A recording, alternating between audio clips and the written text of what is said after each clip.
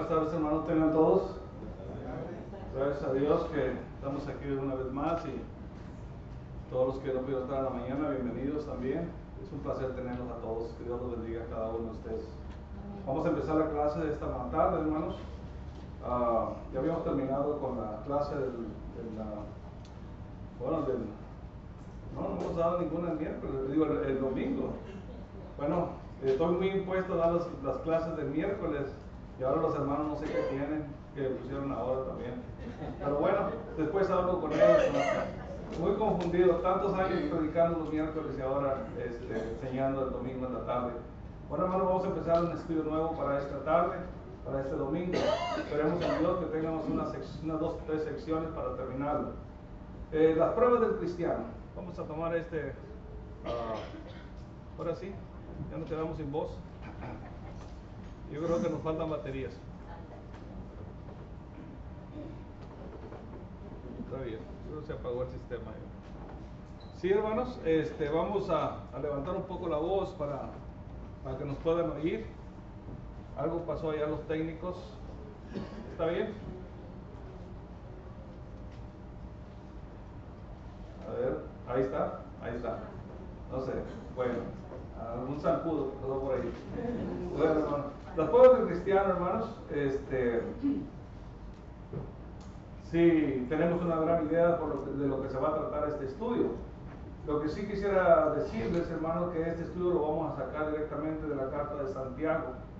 Pero antes de empezar el estudio de esta tarde, hermano, vamos a Dios en oración. Vamos a inclinar nuestros rostros.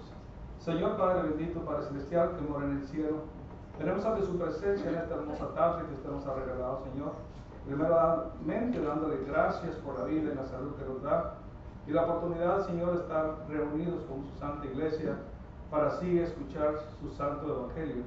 Esa sabiduría que usted nos ha mandado a través de su Hijo, esa sabiduría que viene de lo alto, Señor, la cual le pedimos y le imploramos, Señor, que nos abra el entendimiento para poderle captar cada una de sus palabras, para así serle más agradable, Señor, a través de nuestro caminar en este mundo. Cuídenos, Señor, de todo tropiezo. Cuídenos uh, de todo camino, Señor, pecaminoso, para que no caigamos de su gracia. Esté con nosotros esta noche, como lo ha usted prometido, que estará con nosotros todos los días hasta el fin del mundo. En el nombre de Cristo Jesús se lo pedimos y le damos gracias por todas sus bendiciones. Amén. Amén. Bueno, la carta de Santiago, hermano, es una carta bastante importante. ¿Cómo les diría yo, hermanos? Que que no son iguales a las cartas que están dirigidas a ciertas congregaciones. Por ejemplo, vemos lo de los Efesios, vemos Colosenses, vemos todas estas cartas que van dirigidas a cierta congregación y los exhorta y los amonesta para ciertas cosas que están sucediendo. La carta de Santiago, que es una de las cartas que se les llama un, uh, universal o general, ya que en ellas existe, en la Biblia existen pues muchos dicen que existen siete, pero realmente quieren incluir segunda y tercera de Juan, pero sí tienen alguna dedicatoria. Pero hablando de Santiago, y luego hablamos de primera y segunda de Pedro, primera de Juan, son eh, cartas eh, generales, o sea, para todos en, en, particular. No fue especialmente para alguien. Imagino, porque no lo dice la Biblia, que estas cartas, hermanos, fueron llevadas a varias congregaciones, a varios hermanos, y les fueron leídas. Así que como que eran un manual para que los hermanos, donde quiera que estaban eh, reunidos, leyeran estas, cartas.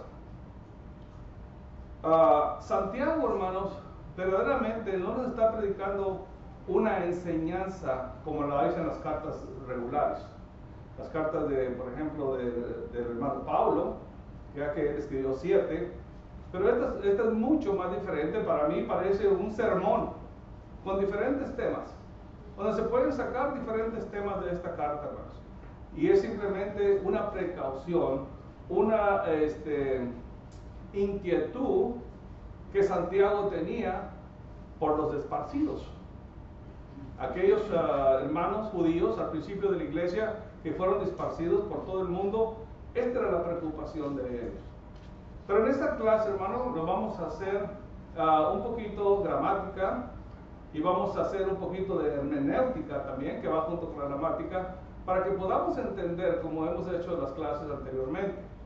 Eh, nuestra intención, hermanos, de las clases es que podamos entender lo que estamos leyendo. Aparte de entender el tema, entender si de veras estamos entendiendo lo que estamos leyendo.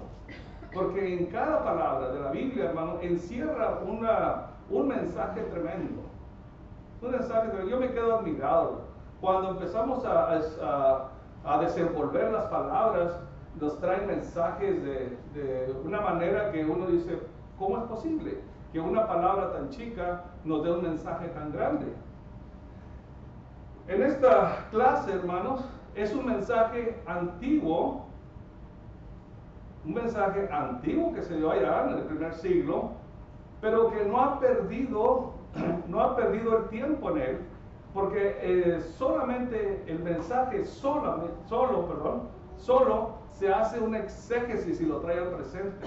O sea, no batallamos para entenderlo, hermano, porque las cosas que están pasando, de las cuales Santiago nos está hablando, nos están pasando ahorita en la actualidad y bien claras, hermano. Así que esta carta sigue dando vuelta en el mundo por muchos años, dos mil años, y ya nos llegó aquí también a Limburgo.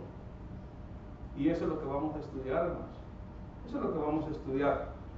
En esta carta, la cual se llama, la, mencionan como carta universal o carta general, el apóstol deja un poquito la teoría. Deja un poquito la teoría porque menciona a Cristo nomás en capítulo 1, versículo 1, capítulo 2, versículo 1. Esas son las únicas dos veces que menciona a Jesucristo. Entonces saca lo teológico para darles unas recomendaciones a los hermanos. No que no sea una parte de la Biblia, es parte de la Biblia, es parte de, lo que el Espíritu Santo inspiró a Santiago que escribiera para beneficio ahora de nosotros. Pero la cosa era una preocupación que él tenía. Para él, hermanos, no podía decir, no le podía decir que usted tiene mucha fe. Para él no existía la palabra nomás fe. Para él existía la fe con obras. Usted podía decirle que tenía fe, pero él dice, ¿y tus obras? Dime tú, enséñame tu fe por tus obras. Porque recuerden que la fe sin obras es muerta. Entonces, esa era su preocupación. Pero cuando hablamos las obras, hermano, no quiere decir que simplemente que pues uh, hacemos algunas cosas en el edificio, hacemos una cosa para hablar con los hermanos. Eh, hay multitud de obras en, en, esta carta, multitud de obras, pero hay una principalmente, y eso lo vamos a, estudiar más. Así que él le llama la fe salvadora. Es el tema principal del libro de, Santiago. No podemos decir que es apóstol, este es el hermano o medio hermano de Jesús. Había varios Jacobos. Eh, menciona varios Jacobos la, Biblia, pero hay un, también un Jacobo que después el nombre es traducido a Santiago, que uno sí fue apóstol, pero este Santiago no fue apóstol. Así que la fe salvadora. Por lo tanto, Santiago nos dice la fe que obra. La fe que obra. Así que, hermano, que nos quede esto presente, que cuando nosotros decimos que tenemos fe, podemos decir, hmm, ¿de veras? Porque no te miro, no te miro haciendo nada por la obra, no te miro que de veras te esmeres por la obra. Entonces es muy bonito decir yo tengo fe, pero de veras, examinemos, examinemos. Vamos hablando en general, hermano. Así que si dice que si la fe sin obras es muerta, o sea, cuando algo muere, hermano, es porque estuvo vivo, ¿verdad? Entonces ya estamos entendiendo que este Santiago le está hablando a hermanos cristianos. Por lo cual, como les decía, hace su propio exégesis y lo trae al presente, porque aquí hay cristianos también. Aquí hay cristianos, hermano. Todos aquí son cristianos. Así que, hermanos, cuando hablemos de fe, hablemos por nuestras obras. Eso es lo que le agradaba a Santiago y eso es lo que él quería inculcarle a, a, a, los esparcidos por todo el mundo. Y lo que quiere inculcarnos también a nosotros. No seamos de palabra nada más, no seamos nomás oidores, sino hacedores también de la palabra, como dice la Biblia, hermanos. Así que lo importante que él decía es que háblame de tu fe por tus obras. Eso es lo que él decía. Así que ahí mismo en Santiago capítulo, uh, capítulo 2, versículos 17 y 18. ¿Qué nos puede leer ahí mientras? Así también la fe por sí misma, si no tiene obras, está muerta. Pero algunos dirán, tú tienes fe y yo tengo obras. Muéstrame tu fe sin las obras y yo te mostraré mi fe por mis obras. Ahí está. Así también la fe, si no tiene obras, es muerta en sí misma. Vamos a dar eh, en particular, vamos a dar a saber en particular lo que realmente él llamaba obra en estos primeros versículos de la- de la escritura. Así que, así también la fe si no tiene obras es muerta en sí misma. Pero algunos dirán, tú tienes fe y yo tengo obras. Muéstrame tu fe sin tus obras y yo te mostraré mi fe por mis obras. Así que vamos a grabarnos este versículo, hermanos. También el versículo 26 dice, porque como el cuerpo sin espíritu está muerto, así también la fe sin obras está muerta. ¿Te imaginas ahora lo que, lo que Santiago le, le- le preocupaba, hermano? Le preocupaba. Porque decía, son muchos los cristianos, son muchos y todos dicen que tienen obra, pero si no la digo, todos dicen que tienen fe, perdón, pero si no tienen obra, entonces andan muertos en vida. Y eso es lo que pasa, hermano. A veces que rehusamos eh, trabajar en la obra del Señor, o no le ponemos atención, o no le tenemos el amor, entonces no hay obra. Y si no hay obra, espiritualmente estamos muertos. Pero no, pues si yo vengo los domingos en la mañana, en la tarde, el miércoles, y a la hora que dice el hermano que vengamos, yo vengo. Sí viene, pero cuando se trata de obrar, usted no está presente. Y no quiere decir que arreglar el business, limpiarlo, eso, pero las obras se hacen espiritualmente, hermanos, espiritualmente. Preocuparme por los enfermos, preguntar por el hermano que tiene varios tiempos que no viene, preocuparme por mis hermanos. Somos una familia, y por lo cual tenemos que preocuparnos unos por los otros. Esa es una gran obra.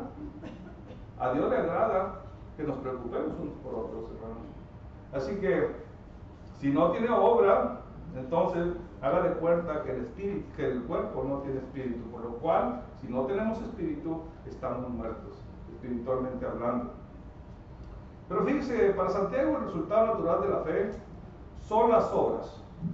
Cuando una persona cree, aquí está, esta es una frase que no se encuentra en la Biblia, pero vamos a, a ver si la podemos entender. Cuando una persona cree verdader- verdaderamente en algo, actuará en conformidad con su creencia. ¿No es así, hermanos? ¿Usted cree en Dios? Entonces actuemos de acuerdo a nuestra creencia. Porque si no creemos de acuerdo, si no hacemos acuerdo a nuestra creencia, entonces no tenemos obra. Esta carta, hermanos, es un ah, continuo ah, recordatorio de que cualquiera puede decir que es cristiano, pero la mejor evidencia, la fe genuina con obra.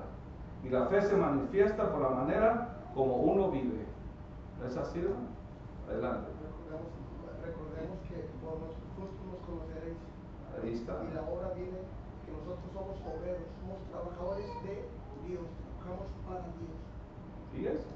Entonces ahí están Entonces vale más las obras que mil palabras. Así es, hermano. Así que cuando digamos tengo fe, es porque ya se miran sus obras. Eso va acompañado, va de la mano, hermano. Pero una sola no puede ir ni la otra. Las dos tienen que ir de la mano. Así que la fe genuina. Primera de Pedro, capítulo 2, que pueda leer ahí, versículos 11 y 12. Alguien que me acompañe. Van a decir, ¿para qué puso el pizarrón, hermano? Sígame. Ahí nomás en el 22, ahí constató, ahí dice, no ves que la fe actuó juntamente por tus obras y que la fe se perfeccionó por las obras. Ahí está, hermano. Ahí vamos para allá ahorita. Ahí va, este. ¿Me dijo? Ah, Primera Pedro, capítulo 2, versículo 11 y 12. Amados, yo os ruego como a extranjeros y peregrinos que os abstengáis, os abstengáis, abstengáis de los deseos carnales que batallan contra el alma, ¿La 12, hermano? manteniendo buen- buena vuestra manera de para que los que murmuran de vosotros como de malhechores glorifiquen a Dios en el día de la visitación, a considerar nuestras buenas obras. ¿Ok? Aquí donde están las buenas obras, hermano. ¿Dónde dice? Bueno, yo sé que dice más abajo. Pero antes de lo último del, del versículo 12, ¿en dónde encontramos las buenas obras? En la manera de vivir. Así es, hermano. Manteniendo, bueno, eh, dice, buena vuestra manera de vivir entre los pecadores. Y a veces nos unimos, hermano. A veces nos unimos, especialmente cuando se pone así, eh, empezamos a agarrar la plática y luego de repente los chistes inadecuados y uno los apoya y se ríe.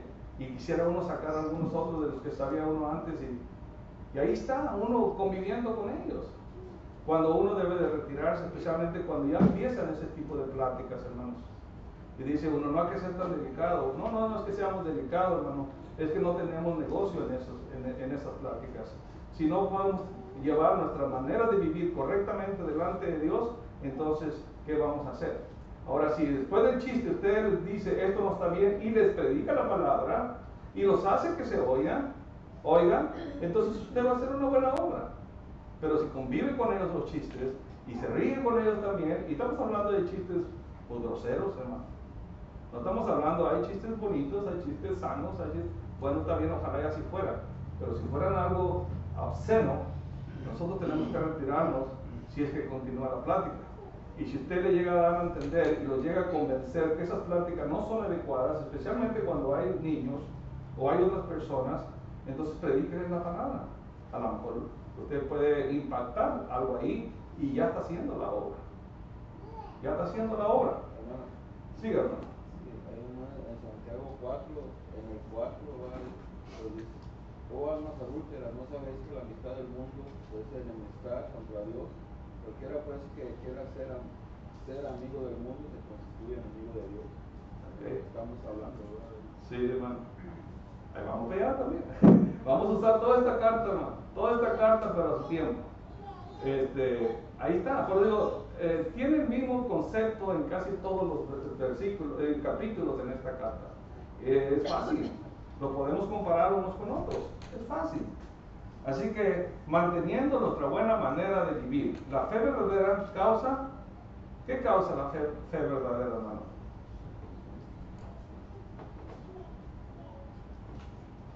La fe verdadera causa en nuestras vidas un punto positivo, hermano, un punto positivo en nuestras vidas, que quiere decir de acuerdo a las cosas de Dios. Esa es la manera de vivir. Así que vamos a regresar ahí a Santiago capítulo 1.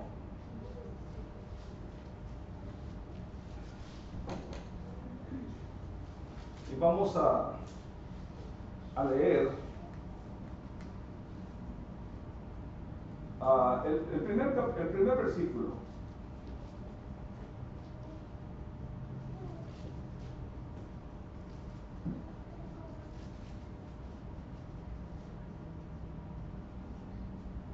¿Qué dice? ¿Qué estoy escribiendo aquí? Santiago, siervo de Dios y del Señor Jesucristo, a los doce tribus que están en la dispersión, saludos. ¿Y de quién, hermano?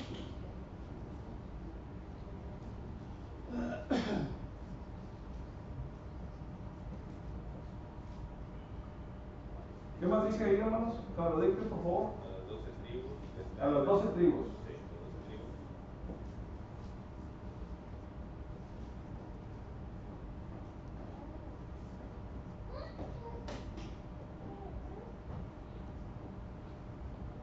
¿Ok? ¿Qué más sigue? que están en la dispersión.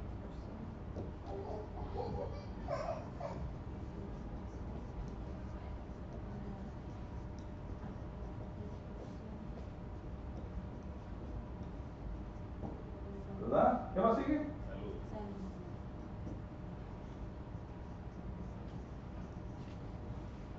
Ahí está.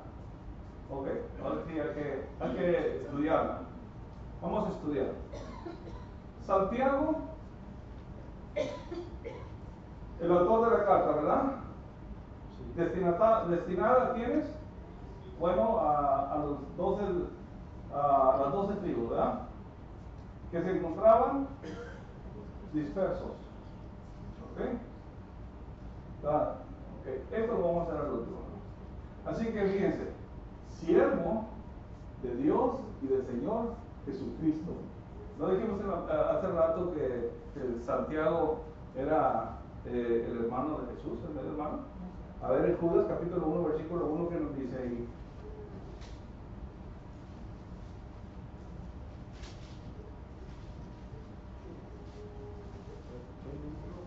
Judas, capítulo 1, versículo 1. Judas, siervo de Jesucristo y hermano de Jacobo, a los llamados santificados en Dios Padre y guardados en Jesucristo.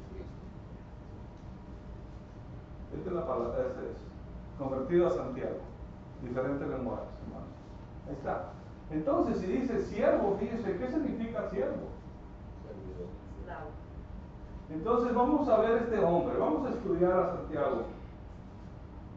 ¿Ok? ¿Le ganó la vanagloria, hermanos? ¿Le ganó la vanagloria por ser hermano de Jesucristo? Sino que se humilló. Entonces, cuando hablamos de siervo, habla- hablamos de humildad. ¿Verdad? Entonces, como siervo, él no dijo, bueno, yo soy hermano de Jesucristo, o medio hermano de Jesucristo. Me creí con él, jugué con él, tuvimos la niñez juntos, y no se, no se jactanció a sí mismo, sino que nos está presentando humildad. Preocupado por las doce tribus que estaban en la dispersión. Ahora, ¿por qué hubo esta dispersión, hermanos? Eso es lo que tenemos que ver. ¿Qué andaban haciendo? ¿Por qué se preocupaba mucho? Quizás porque él llegó a ser grande en la iglesia de Jerusalén. Los dispersos salieron de Jerusalén. Saulo de Tarso, ahora Pablo, los quería matar. Les digan toda la historia que tiene el primer versículo. Los quería matar. Después de Esteban, mártir, todos corrieron, asustados, pero se fueron a, predicar a otras partes. Y salud, hermano, si lo vamos en el, en el griego, es alegrarse. Cairo. Del griego,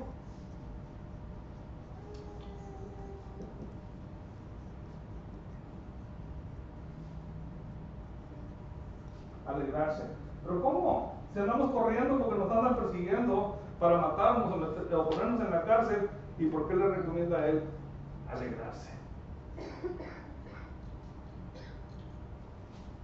Gozo es cara.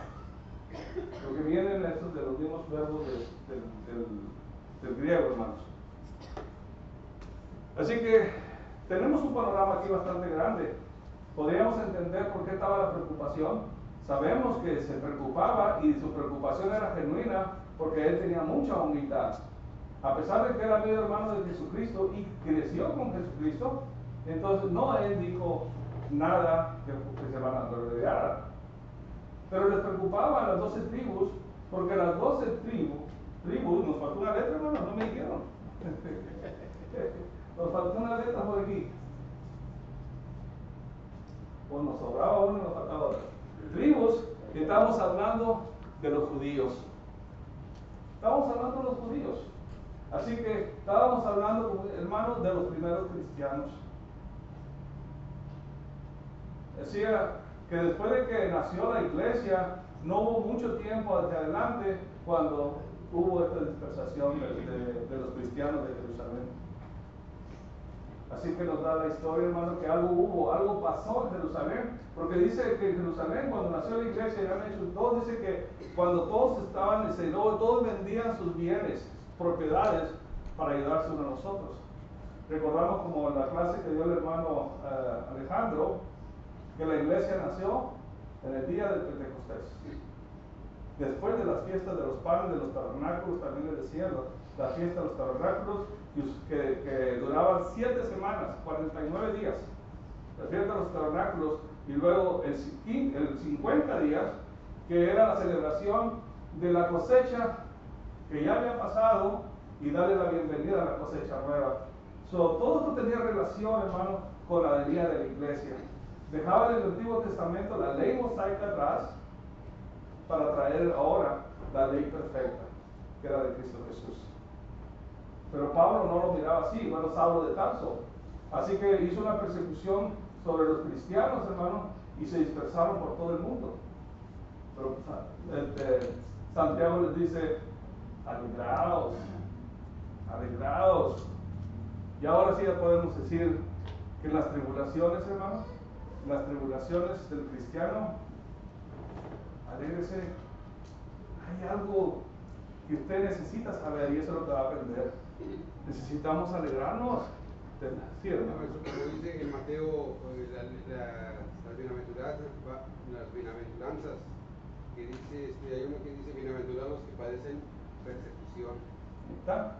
por causa de la justicia, porque de ellos es el reino. Sí. Esto- estos, estos versículos, hermano, eh, congenian mucho con la bienaventuranza. Hay mucho que sacar de ahí en paralelo con esto. Ese es uno de ellos. Ese es uno de ellos. Y hay dos o tres más ahí, que le buscan. Así que, alegrados por la persecución. ¿Ok? Hay que alegrarnos nosotros también, porque las persecuciones no vienen nomás porque vienen la, eh, la gente atrás de nosotros para, para ponernos en la cárcel o confiarnos, hermano. Pero ¿cuál es la per- persecución del cristiano ahí? ¿Cuál es la persecución del cristiano?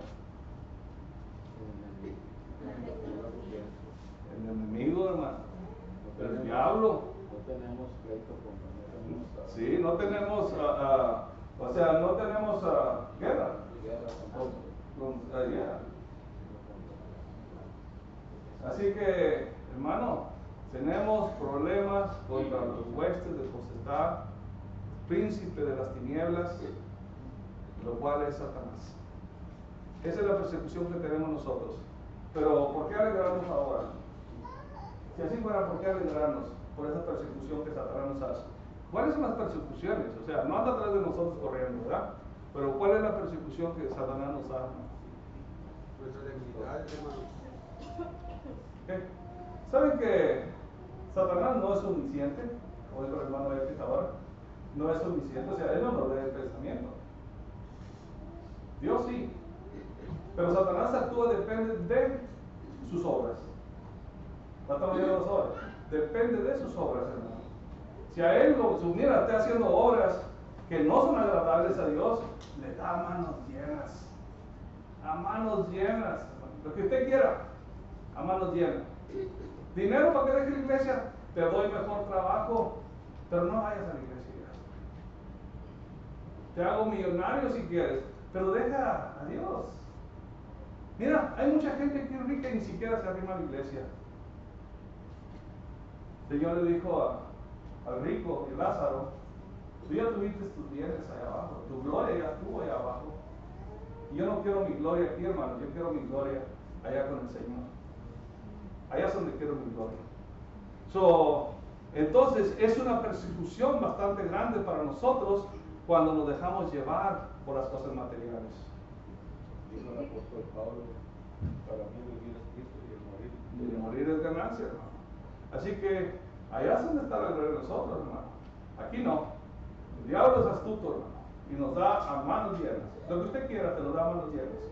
Ahí antes decía uno, ah, y no sabía uno, de infancia no estaba uno mucho relacionado con las cosas de Dios, pero decía, le vendes tu alma al diablo. Ahora sí entiendo cómo es vender ama- la, la alma al diablo. Cuando uno se entrega a él, cuando uno mm, ya no obedece las cosas de Dios. Entonces, hermanos, la preocupación de Santiago por los hermanos que estaban aquí es que ellos cayeran de la gracia de Dios. Y la única cosa de mantenerse ellos ah, ah, adelante en las cosas de Dios, en la gracia de Dios, al no forzarse, al perseverar en las cosas de Dios, la perseverancia es una obra.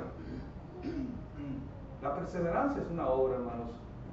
Si usted se aferra, usted lucha contra las cosas malas para que nada lo mueva de las cosas de Dios, esa es una obra. Y esa es la obra que Santiago nos está hablando. ¿Qué son las obras? Todo es espiritualmente, hermanos, de lo que nos está hablando Santiago. Así que persevere, hermanos, sobre todas las cosas, sobre todas las pruebas que nos vengan, usted persevere en las cosas de Dios. Buscar primero qué, hermanos? El reino de Dios y su justicia y todo vendrá por añadidura. Son palabras de Él, recordemos. Segunda de, de. Segunda de Timoteo 3, 16, 17. Él nos está hablando a través de la escritura, hermanos. Vamos más adelante. Hay mucho más que explicar aquí, hermano, en este, en este versículo. Así que el autor es Santiago, se presenta como siervo, hermanos, ok, pero nunca se presentó como apóstol. Ah, miren, ya vimos el panorama de este del lado espiritual de Santiago. ¿Por qué decíamos nosotros que nosotros, no, eh, la humanidad ahorita ah, presente se parece mucho a él también? Algunos de nosotros recordamos, hermanos, que fuimos muy, que fueron muy testarudos para aceptar la palabra de Dios. Muchos se llevaron años para aceptar la palabra. Muchos se llevaron demasiado tiempo, hermanos, que ahora nos arrepentimos. ¿Cómo fue que perdí mi tiempo en esto?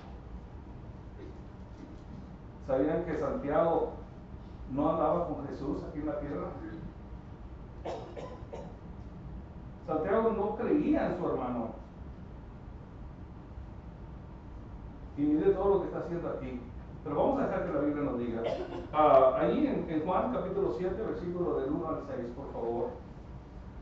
En el Evangelio según Juan, capítulo 7, del 1 al 6.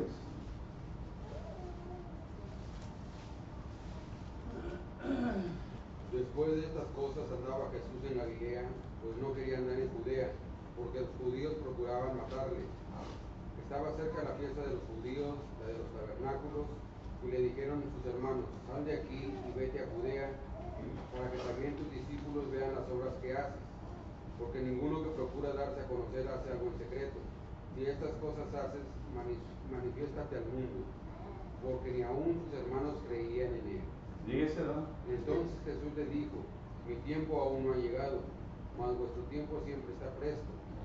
No puede el mundo aborreceros a vosotros, mas a mí me aborrece, porque yo testifico de, yo testifico de él que sus obras son malas. Ahí está, ahí está, ¿ve? Entonces ni los hermanos creían en él, ni los hermanos. Entonces a veces se debe uno preguntar, entonces ¿cómo fue que él se hizo un gran ministro de la palabra de Dios? ¿Cómo fue? Si cuando andaba mi hermano aquí predicando la palabra y haciendo maravillas, yo no creía en él. Cuando él se nos desaparecía y se iba con los hermanos a la iglesia, pues que se vaya solo. Yo no voy con él. No es como nos dice ahí en la 1 Corintios 15, versículo 3 al 8. 1 Corintios 15.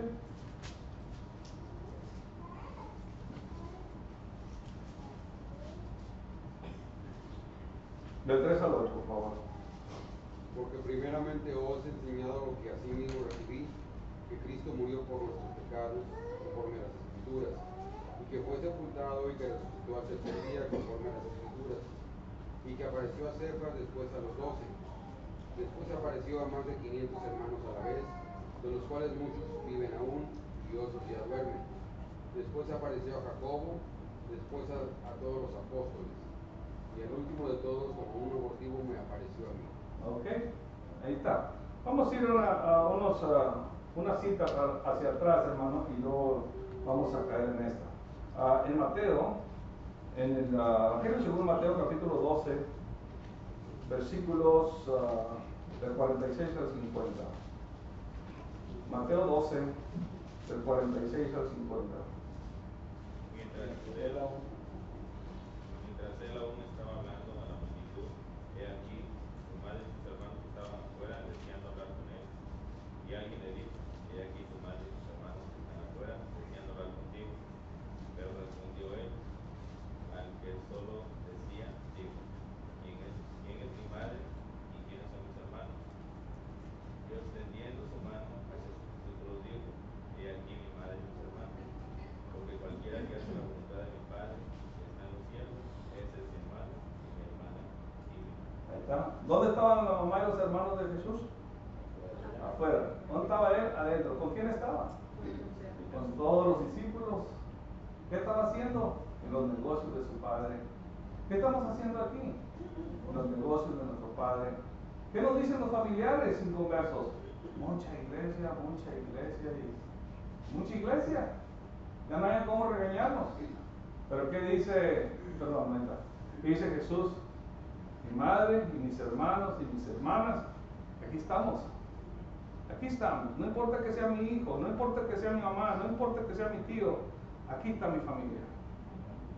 Hermano. Bueno, es, estaba hablando en el anterior de, de, de, de, de, yo que no creía y andando con ellos, entendiendo lo mismo nosotros también, a todos creo que todos nuestros hermanos, pues, hemos hablado del evangelio de nuestra propia familia y sí nos escuchan y saben que somos hermanos de sangre, Sí. pero aún siguen ellos todavía en la ley, y nos están escuchando. Quizá Dios quiera que ya no cuide tanto ellos también, hagan lo mismo que Santiago. Esperemos en Dios que sí, hermano. Porque realmente muchos fuimos muy tercos, hermano. Muy tercos para cuando nosotros aceptamos la verdad. Pero era Satanás, hermano, que nos estaba dando manos llenas en la tentación. Que nos decían, no, no te creas. Y lo mirábamos como si fuera una persona que no tenía sentido. Y ahora estamos del otro lado también de la cerca de nosotros. Ahora estamos pasando de, administrar la palabra de Dios a otras personas que también no nos ponen atención. Pero así éramos muchos. El hermano de Jesucristo no creía a él, ni los hermanos. La mamá dice donde andaba y él estaba en oración. Entonces tiene que suceder algo. Eh, a él le sucedió algo muy hermoso para cuando él se convirtió, de acuerdo a la Biblia. Y ahí se nos vamos a quedar. Nosotros, hermano, a veces nos tiene que suceder algo desagradable para saber que Dios existe. Para saber que Dios existe. Aquí en el ah, aquí en, en 1 Corintios capítulo 15, versículo 7, nos dice, después, fíjese, déjenme empezarle, ah, después de que resucitó el Señor el 4, después de que resucitó al tercer día conforme a las escrituras, y que apareció a Cefas, o sea, Pedro, y después a los doce, ahí están los apóstoles. Después apareció a más de 500 hermanos a la vez, de los cuales muchos viven aún y otros ya duermen. Después apareció a Jacob. A Jacob le apareció solo. ¿Qué podría haber dicho el Señor? Ahora sí estás convencido, hermano. Tuve que morir y tuve que resucitar en, en- en hueso y carne para que tú creas en mí. Algo pasó, hermano. La Biblia no dice platicaron o qué le dijeron, pero desde aquí, hermano, desde esos versículos, de ahí eh, Santiago empezó a estar más en las cosas de Dios. Y muchas veces, como digo, hermano, a veces nos pasan esas cosas a nosotros, algo desagradable, y de ahí en adelante sigue nuestra carrera cristiana. ¿Para qué esperar cosas desagradables? ¿Para qué, hermanos? Cuando Dios está hablando a todo momento. Hermano Víctor, ¿decía algo? Ah, sí, hermano. Ahí tenemos también en Lucas lo mismo, en, en el 8, 19. Entonces su madre y sus hermanos vinieron a él, pero no podían llegar hasta él por causa de la multitud. Y se los avisó diciendo, tu madre y tus hermanos están afuera y quieren verte. Él entonces respondiendo, les dijo, mi madre y mis hermanos son los que oyen la palabra de Dios y la hacen. ¿Está? Y también ahí en Marcos 3, ah, 33, también ah, la- él le respondió diciendo, ¿quién es mi madre y mis hermanos? Y mirando a los que estaban sentados alrededor, él dijo, he aquí mi madre y mis hermanos, porque todo aquel que hace la voluntad de Dios, ese es mi hermano y mi hermana y mi madre. Ahí está. Los ah, evangelios sinópticos, ahí están paralelos las cosas. Como fue de diferentes maneras, pero ahí está la misma explicación diferente, pero es la misma explicación, hermano. ¿Quiénes son mis hermanos? ¿Quiénes son mi madre? Eh, ¿de- ¿Por qué? Porque mi madre y mis hermanos y mis hermanos, aquí están. Los que están afuera no, los que están aquí. Iba a comentar, hermano, eh, nos hablan de Dios, aunque andemos en el mundo, reconocemos que hay un Dios, pero muchas veces no queremos el compromiso con Dios hasta que no, de veras, sabemos con quién ir, sabemos con quién ir. Entonces sí, ya como que se nos abrieron los ojos, los oídos, ahora sí queremos saber de él, pero primero no queremos. Hay, una, hay un secreto muy grande que el hombre no, no quiere saber, porque no le conviene, según él, pero sí le conviene. Y sería lo mejor de lo que le pudiera pasar en su vida. Hay muchos que dicen, yo me quiero componer, yo me quiero arreglar, yo quiero dejar los vicios, yo quiero dejar esto, entonces me entrego a Dios. Pero que hablamos de quién es Satanás y qué hace Satanás. Ya te, ya te oyó, ya sabe que quieres dejarlo y él no te va a dejar que te vaya. Te va a agarrar de la mano, te va a agarrar del brazo, te va a abrazar, pero no te va a dejar ir. Entonces tú necesitas a alguien más fuerte que él. Y si Cristo venció a Satanás en la cruz, quiere decir que Cristo tiene más poder que el maligno. Entonces, ¿quién es el que te puede componer? Cristo Jesús. ¿Quién es el que te detiene? Satanás. Y nunca vas a poder solo. Porque dice ahí en Efesios capítulo 6, versículo 11 y 10 y 11, dice, porque no tenemos lucha contra carne y sangre, sino contra potestades de maldad. Así que ese ser es bien poderoso. El poder natural del hombre no es suficiente para poder pelear contra Satanás. Pero cuando ya estamos adentro del reino de Dios, Dios nos da el poder divino. Por eso dice, vestido, dice el 12, vestido de toda la armadura de Dios, para que podás con las acechanzas del diablo. Nos da las armas. Nos dan las armas del Señor. Así que si usted piensa componerse hasta que no sea cristiano, está pensando mal. Porque no va a poder solo. Porque el compañero que trae el brazo es mucho más fuerte que usted. Necesita agarrar a alguien más fuerte que él. Y es Cristo Jesús. Hermanos, se nos acabó el tiempo. Hermano, y, y- y Dios no oye al pecador. Juan 9:30. Dios no oye al pecador, pero si se arrepiente, a ese oye. Así que, hermanos, esperemos en Dios que hayan entendido el mensaje. Hay mucho que hablar de la carta de, Santiago, hermanos. Vamos a ir sacando poco a poco todo lo que extraer del, libro este de Santiago, de la epístola, para poder nosotros también aprender cómo vivir en este mundo de maldad. Y esa es la preocupación de Santiago. Así que esa es la preocupación también de los otros hermanos, que no se quede afuera del reino de Dios. Cristo vino murió por nosotros, para que nosotros tuviéramos el privilegio de poder tener una vida eterna. ¿Cuál es el propósito de Dios? Dios hizo al hombre, dice allá en el, en el principio de la creación, en Génesis capítulo 1, versículo 26, si no me equivoco, dice que todo fue bueno, todo lo que hizo Dios fue bueno. Ahí hizo al hombre también. A 31, parece, 30, 31. Ahí todo fue bueno. El diablo vino y destruyó, hermanos. Ahora Dios nos quiere llevar otra vez al principio, cuando el hombre tenía la vida eterna. Y Cristo es el único que nos puede dar la vida eterna. Él es el único, hermanos. Nos va a dar la vida eterna. Pero hay dos lugares. Y nos da libre albedrío. ¿A cuál quiere usted? ¿El tormento?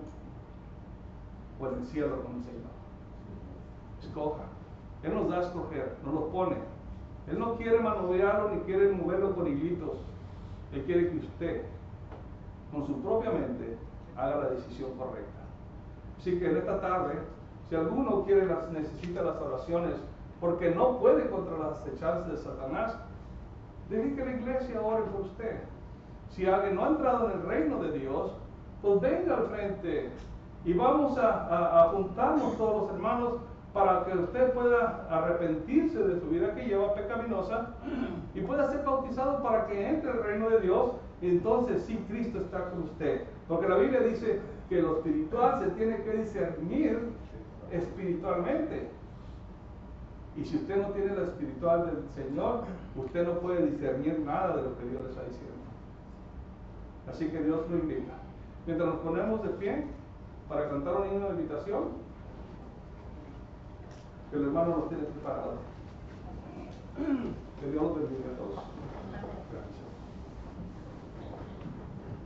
Gracias.